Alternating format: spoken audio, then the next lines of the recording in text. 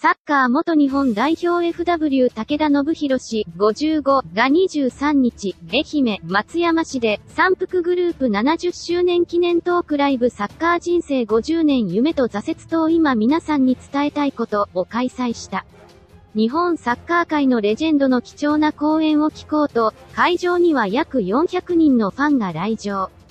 トークショーでは、前日22日にポルトガル2部オリベイレンセの和子と元日本代表 FW 三浦和義56がアカデミコでビゼウ戦に途中出場して公式戦デビューしたことに触れ、彼からはパワーをもらっています。続けることの大変さ、素晴らしさにパワーをもらっています、と盟友から刺激を受けていることを明かした。また、来場者からは武田氏が J クラブで監督として指揮を取ることに期待を寄せる声も。地元には J3 の愛媛や今治があるが、愛媛には岡田、武史、会長の今治があります。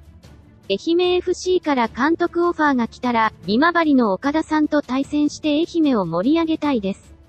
元日本代表監督の岡田武史氏が会長を務める今治と監督として対戦することに意欲を見せ、ファンを喜ばせていた J リーグで武田監督の誕生へ機運が高まっている。